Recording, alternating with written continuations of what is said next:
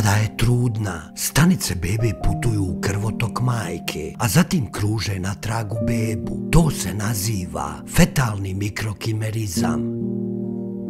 I tako 41 nedelju stanice kruže i putuju kroz posteljicu u oba smjera, a nakon rođenja djeteta mnogi od tih stanica ostaju u majčinom tijelu, ostavljajući trajni utisak u majčinim tkivima, kostima, mozgu i koži i često tamo ostaju čak decenijama.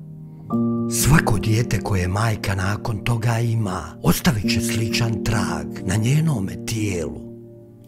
Čak i ako trudnoća ne dođe do punog termina ili ako se desi pobačaj, te stanice i dalje migriraju u majčin krvotok. Istraživanja su pokazala da ako je majčino srce povrijeđeno, fetalne stanice će pohrliti na mjesto povrede i promijeniti se u različite vrste stanica koje su specijalizovane za popravku srca. Beba pomaže izlječenju majke, dok majka stvara novi život, bebu. Kako je to divno!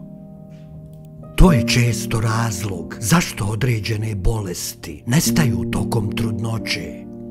Nevjerovatno je kako majčino tijelo štiti bebu po svaku cijenu, a beba štiti i obnavlja majku, tako da se beba može sigurno razvijati i preživjeti.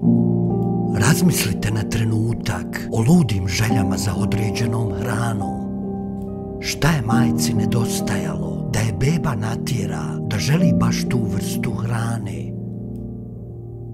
Studije navode da stanice fetusa u mozgu majke ostaju čak 18 godina nakon što je rodila. Kako je to nevjerovatno. Ako ste mama, znate kako možete intuitivno osjetiti svoje dijete, čak i kada ga nema. Eto, sada postoje naučni dokazi da ga mame nose čak godinama nakon što su ga rodile.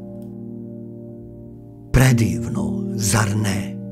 Hvala na pažnji do idućeg videa, veliki pozdrav!